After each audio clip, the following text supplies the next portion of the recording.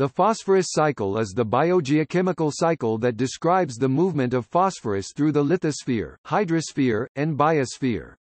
Unlike many other biogeochemical cycles, the atmosphere does not play a significant role in the movement of phosphorus, because phosphorus and phosphorus-based compounds are usually solids at the typical ranges of temperature and pressure found on Earth. The production of phosphine gas occurs in only specialized, local conditions. Therefore, the phosphorus cycle should be viewed from whole Earth system and then specifically focused on the cycle in terrestrial and aquatic systems. On the land, phosphorus gradually becomes less available to plants over thousands of years, since it is slowly lost in runoff. Low concentration of phosphorus in soils reduces plant growth, and slows soil microbial growth, as shown in studies of soil microbial biomass. Soil microorganisms act as both sinks and sources of available phosphorus in the biogeochemical cycle. Locally, transformations of phosphorus are chemical, biological and microbiological. The major long-term transfers in the global cycle, however, are driven by tectonic movements in geologic time. Humans have caused major changes to the global phosphorus cycle through shipping of phosphorus minerals, and use of phosphorus fertilizer, and also the shipping of food from farms to cities, where it is lost as effluent.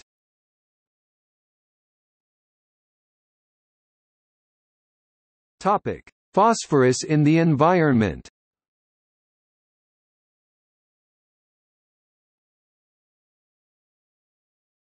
Topic: Ecological function. Phosphorus is an essential nutrient for plants and animals. Phosphorus is a limiting nutrient for aquatic organisms. Phosphorus forms parts of important life-sustaining molecules that are very common in the biosphere. Phosphorus does enter the atmosphere in very small amounts when dust is dissolved in rainwater and sea spray, but remains mostly on land and in rock and soil minerals.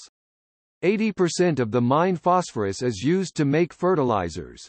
Phosphates from fertilizers, sewage and detergents can cause pollution in lakes and streams.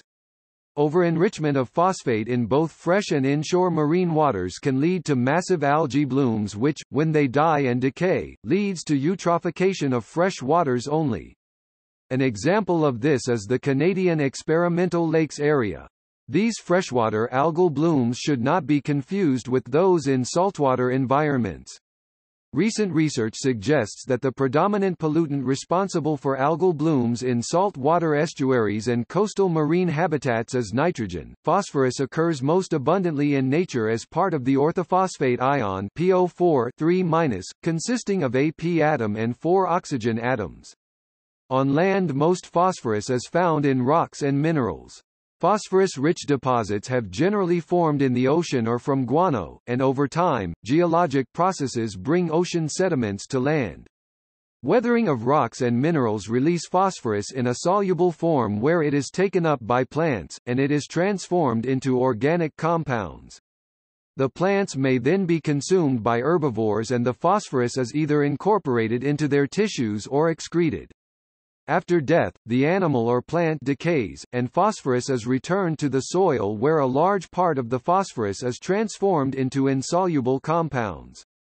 Runoff may carry a small part of the phosphorus back to the ocean. Generally with time, thousands of years soils become deficient in phosphorus leading to ecosystem retrogression.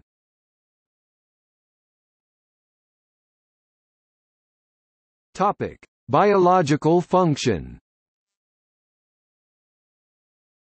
The primary biological importance of phosphates is as a component of nucleotides, which serve as energy storage within cells ATP or when linked together, form the nucleic acids DNA and RNA.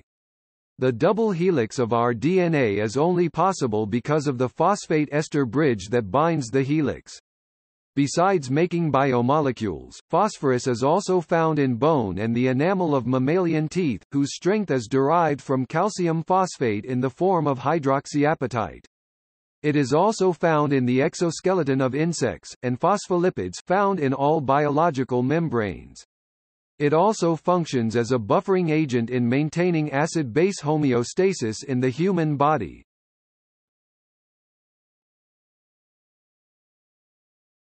Topic: Phosphorus cycling.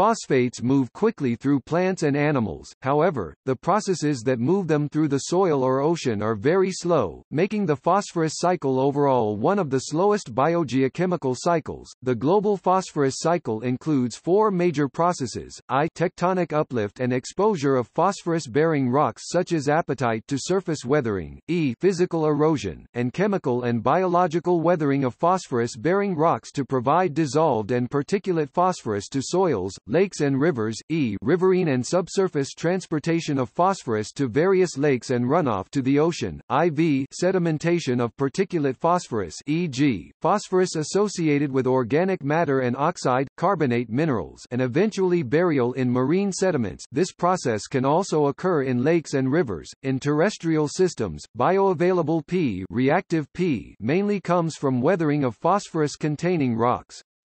The most abundant primary phosphorus mineral in the crust is apatite, which can be dissolved by natural acids generated by soil microbes and fungi, or by other chemical weathering reactions and physical erosion. The dissolved phosphorus is bioavailable to terrestrial organisms and plants and is returned to the soil after their death. Phosphorus retention by soil minerals e.g., adsorption onto iron and aluminum oxyhydroxides in acidic soils and precipitation onto calcite in neutral to calcareous soils is usually viewed as the most important factor in controlling terrestrial P bioavailability. This process can lead to the low level of dissolved phosphorus concentrations in soil solution. Various physiological strategies are used by plants and microorganisms for obtaining phosphorus from this low level of phosphorus concentration. Soil phosphorus is usually transported to rivers and lakes and can then either be buried in lake sediments or transported to the ocean via river runoff. Atmospheric phosphorus deposition is another important marine phosphorus source to the ocean. In surface seawater, dissolved inorganic phosphorus, mainly orthophosphate PO43-, is assimilated by phytoplankton and transformed into organic phosphorus compounds. Phytoplankton cell lysis releases cellular dissolved inorganic and organic phosphorus to the surrounding environment. Some of the organic phosphorus compounds can be hydrolyzed by enzymes synthesized by bacteria and phytoplankton and subsequently assimilated. The vast majority of phosphorus is remineralized within the water column, and approximately 1% of associated phosphorus carried to the deep sea by the falling particles is removed from the ocean reservoir by burial in sediments. A series of diagenetic processes act to enrich sediment-poor water phosphorus concentrations, resulting in an appreciable benthic return flux of phosphorus to overlying bottom waters. These processes include I microbial respiration of organic matter in sediments, E microbial reduction and dissolution of iron and manganese oxyhydroxides with subsequent release of associated phosphorus, and E abiotic reduction of iron oxyhydroxides by hydrogen sulfide and liberation of iron-associated phosphorus. Additionally, I-phosphate associated with calcium carbonate and E transformation of iron oxide bound phosphorus to vivianite play critical roles in phosphorus burial in marine sediments. These processes are similar to phosphorus cycling in lakes and rivers. Although orthophosphate PO43-, the dominant inorganic P species in nature, is oxidation state P5+, certain microorganisms can use phosphonate and phosphite P3+, oxidation state as a P source by oxidizing it to orthophosphate. Recently, rapid production and release of reduced phosphorus compounds has provided new clues about the role of reduced P as a missing link in oceanic phosphorus.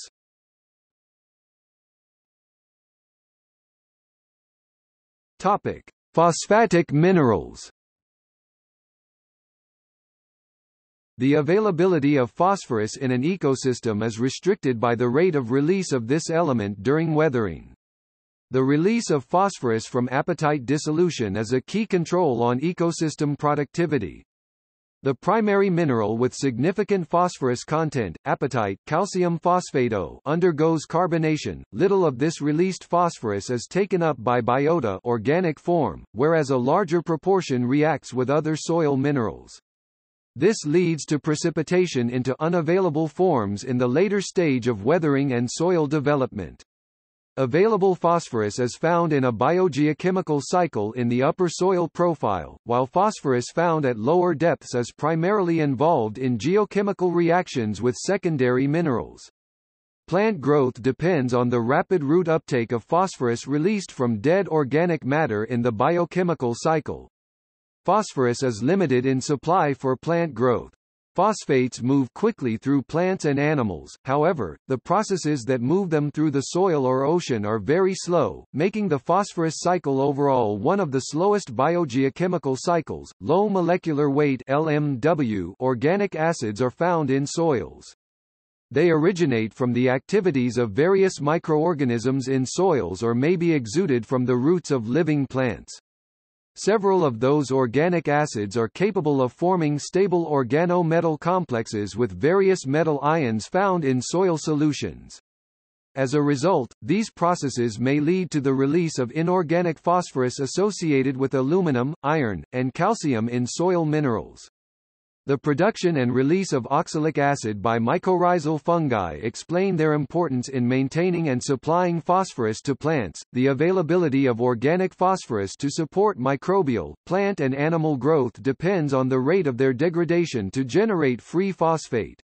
There are various enzymes such as phosphatases, nucleases and phytase involved for the degradation.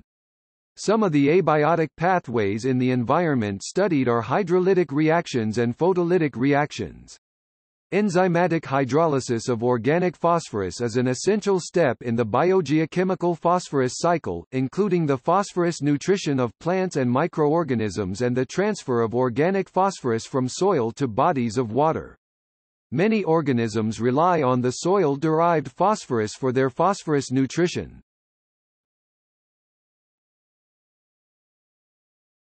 Topic: Phosphorus and eutrophication.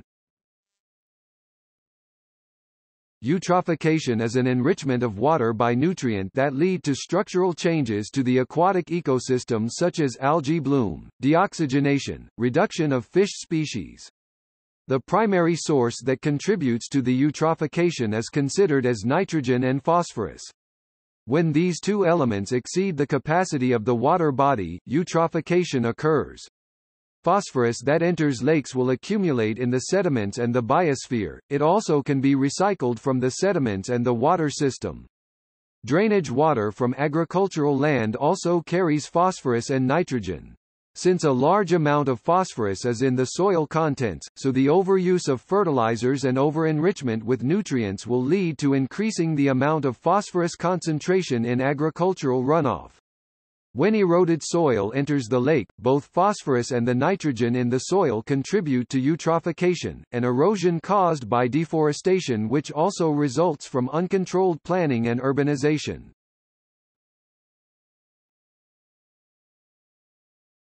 Topic: Wetland Wetlands are frequently applied to solve the issue of eutrophication. Nitrate is transformed in wetlands to free nitrogen and discharged to the air. Phosphorus is adsorbed by wetland soils which are taken up by the plants. Therefore, wetlands could help to reduce the concentration of nitrogen and phosphorus to remit and solve the eutrophication. However, wetland soils can only hold a limited amount of phosphorus. To remove phosphorus continually, it is necessary to add more new soils within the wetland from remnant plant stems, leaves, root debris, and undecomposable parts of dead algae, bacteria, fungi, and invertebrates.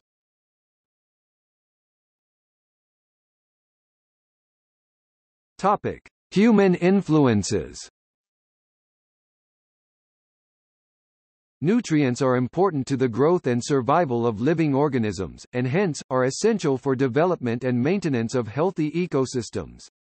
Humans have greatly influenced the phosphorus cycle by mining phosphorus, converting it to fertilizer, and by shipping fertilizer and products around the globe. Transporting phosphorus in food from farms to cities has made a major change in the global phosphorus cycle. However, excessive amounts of nutrients, particularly phosphorus and nitrogen, are detrimental to aquatic ecosystems. Waters are enriched in phosphorus from farms runoff, and from effluent that is inadequately treated before it is discharged to waters. The input of P in agricultural runoff can accelerate the eutrophication of P-sensitive surface waters. Natural eutrophication is a process by which lakes gradually age and become more productive and may take thousands of years to progress.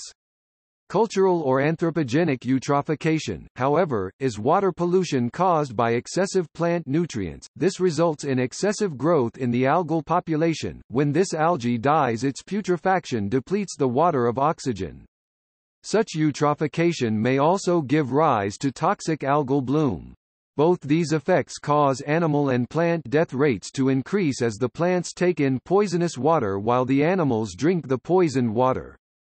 Surface and subsurface runoff and erosion from high phosphorus soils may be major contributing factors to this fresh water eutrophication. The processes controlling soil phosphorus release to surface runoff and to subsurface flow are a complex interaction between the type of phosphorus input, soil type and management, and transport processes depending on hydrological conditions. Repeated application of liquid hog manure in excess to crop needs can have detrimental effects on soil phosphorus status. Also, application of biosolids may increase available phosphorus in soil. In poorly drained soils or in areas where snowmelt can cause periodic waterlogging, reducing conditions can be attained in 7 to 10 days. This causes a sharp increase in phosphorus concentration in solution and phosphorus can be leached. In addition, reduction of the soil causes a shift in phosphorus from resilient to more labile forms. This could eventually increase the potential for phosphorus loss. This is of particular concern for the environmentally sound management of such areas, where disposal of agricultural wastes has already become a problem. It is suggested that the water regime of soils that are to be used for organic wastes disposal is taken into account in the preparation of waste management regulations. Human interference in the phosphorus cycle occurs by overuse or careless use of phosphorus fertilizers. This results in increased amounts of phosphorus as pollutants in bodies of water resulting in eutrophication. Eutrophication devastates water ecosystems by inducing anoxic conditions.